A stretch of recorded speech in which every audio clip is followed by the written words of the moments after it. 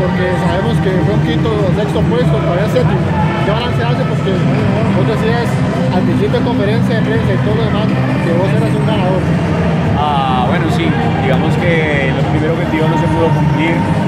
Ayer tuvimos un mal juego, la verdad fue un mal juego que tuvimos. Y ese era el partido, porque ganando ese juego teníamos una doble oportunidad de lograr el objetivo, ya sean semifinales o disputando el tercer y cuarto, la final. Así que bueno, el balance digamos que en cuanto a lo colectivo es positivo. Eh, los muchachos han tenido uh, un aprendizaje claro, pero a nivel personal, bueno, siento un poco de frustración tal vez, un de, de desaliento por no haber cumplido ese objetivo que se había propuesto al principio. Dice que estaban para más. Sí, estábamos para más, falta un poco más de concentración, un poco más de roce, un poco más de, de competencia internacional para que ellos puedan entender un poco más del, del juego y no se les complique el, el, eh, el aprendizaje del baloncesto.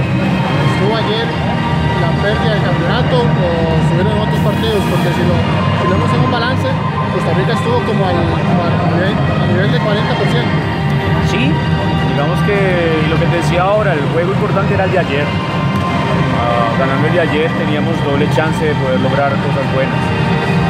Uh, perdiendo ayer ya tocaba disputar el pues, puesto número quinto. Así que bueno, es eso. Yo creo que lastimosamente no pudimos. Uh, el Salvador jugó muy inteligente, hizo las cosas como tenía que hacerlas. Nosotros jugamos una buena defensa, pero el ataque no estuvo tan preciso.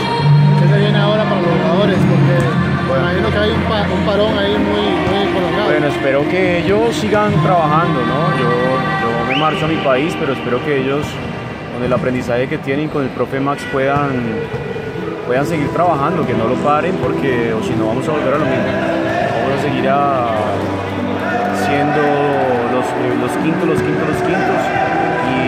trabajar un mes antes de cada campeonato, la verdad, no sirve de nada. ¿Qué enseñanzas le deja a Costa Rica, tanto usted, este torneo? Uh, la enseñanza más grande que le digo a ellos es que hay que entrenar, que hay que trabajar, que hay que cada día superarse más, que hay que olvidarse de aquellos mitos de juego anteriores a que han tenido y, y que el trabajo es lo principal para ellos. Debe existir un antes y un después de este torneo en, en asunto de disciplina de baloncesto en silla de ruedas? Creo que sí, creo que hay un antes y un después. Creo que